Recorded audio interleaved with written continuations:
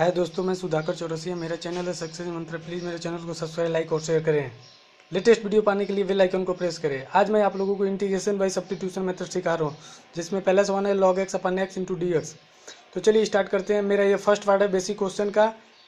तो चलिए, जैसे पहला क्वेश्चन दिया है log x upon x into d x तो इसको कैसे सॉल्व करते हैं? इसको सॉल्व करने के लिए हम लोग को लॉग एक्स को टी मानना पड़ेगा। लॉग एक्स को टी मानना पड़ेगा। तो लॉग एक्स का डिफ्रेंसिएशन यहाँ कितना होता है? लॉग एक्स का डिफ्रेंसिएशन होता है one by x d x equal to d t one by x तो इसके जगह पे हम लोग, इसके जगह पे, पूरे के जगह पे जो यहाँ है, उसके जगह पे डी टी लिख देंगे और इसके जगह पे टी लिख देंगे। तो चलिए इंटीग्रेशन लॉग एक्स को हमने टी मान लिए तो इसके जगह पे टी हो जाएगा और इन सब के जगह पे क्या हो जाएगा? डी टी टी का। अब एक्स की पावर एन का इंटीग्रेशन होता है एक्स की power n plus one upon n plus one वैसे टी की पावर वन का इंटीग्रेशन हो जाएगा।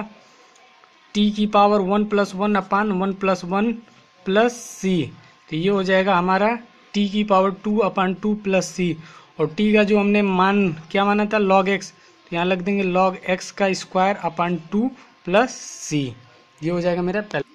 सेकेंड क्वेश्चन है sec square log x upon x इसमें भी देखिए, सबसे पहले उसको टी मानते हैं जिसका इंडिकेशन डिफ्रेंसिएशन दिया हो। जैसे लॉग एक्स का डिफ्रेंसिएशन वन बाई एक्स तो इसमें लॉग एक्स को हम लोग क्या करेंगे? टी मानेंगे। तो इसमें लॉग एक्स को हम लोग टी मानेंगे। लॉग एक्स का डिफ्रेंसिएशन होता है one by x d x equal to d t अब इतने के जगह पे हम लोग क्या लिख सकते हैं? डी टी और इसको पूरा लिख देंगे। Integration sec square log x के जगह पे t into d t okay? अब सेक स्क्वायर एक्स का इंटीग्रेशन होता है टेन एक्स वैसे सेक स्क्वायर टी का इंटीग्रेशन हो जाएगा टेन टी और प्लस सी और टेन टेन तो वैसे ही लिखा है। टी की वैल्यू हम लोगों ने क्या बनाया? लॉग एक्स तो ये हो जाएगा tan log x plus c ये इसका आंसर हो जाएगा। सेकेंड क्वेश्चन थर्ड क्वेश्चन करते हैं। थर्ड क्वेश्चन है इंटीग्रेशन ई की power tan inverse x upon one plus x square into d इसमें किसको टी मानेंगे? इसमें टेन इनवर्स एक्स को टी मानेंगे। क्योंकि टेन इनवर्स एक्स का डिफ्रेंसिएशन होता है one upon one plus x square इसलिए इसको टेन इनवर्स को टी मानेंगे तो ये पूरा कांस्टेंट लपेटे में आ जाएगा। इसलिए टेन इनवर्स एक्स को क्या करते हैं, टी मानते हैं। टेन इनवर्स एक्स को टी मानेंगे तो टेन इनवर्स एक्स का डिफ्रेंसिएशन होता है one upon one plus x square d x equal to d t ये देखिए पूरा कांस्टेंट लपेटे में आ गया। इतने के जब हम लोग क्या लिख सकते हैं? डी टी ये जो नीचे दिख रहे, इतने के जब हम लोग डी टी लिख सकते हैं, इसको लिख सकते हैं ई की पावर इसको लिख सकते हैं इंटीग्रेशन ई की power t tan inverse x को हमने टी माना है। इतने के जगह क्या लिख सकते हैं? D t. और ई e की पावर एक्स का इंटीग्रेशन होता है, ई e की पावर एक्स। वैसे ई e की पावर टी का इंटीग्रेशन हो जाएगा, ई की पावर टी प्लस सी। और टी की जो वैल्यू है वो रख देते हैं, ई की पावर। टी की वैल्यू क्या माने टेन इनवर्स एक्स। तो ये हो जाएगा ई की power tan inverse x plus c. ये हो गया मेरा फोर्थ क्वेश्चन है।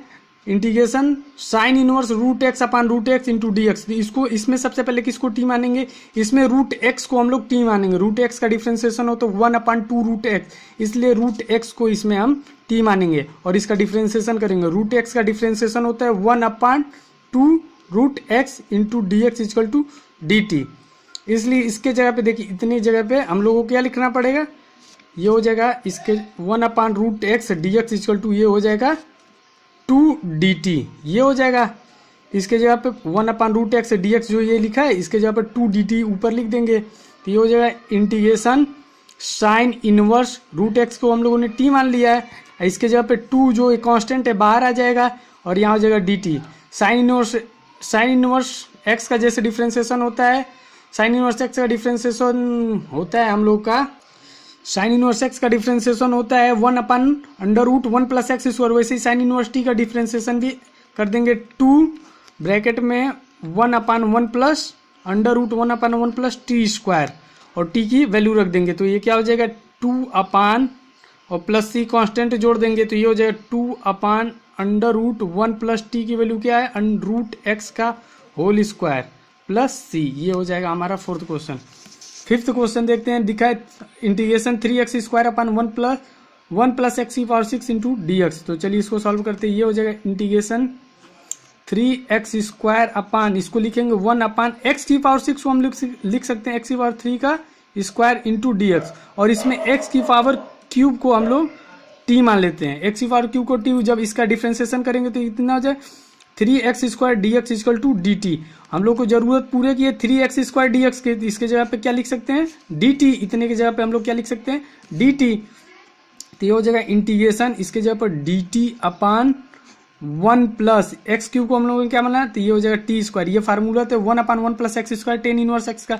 इसलिए फार्मूला हो जाएगा tan inverse t plus c. और टी की वैल्यू हम लोगों ने मानना है एक्स क्यूब। तो यहाँ हो जाएगा tan inverse x cube plus c ये हो जाएगा मेरा आंसर फिफ्थ क्वेश्चन का।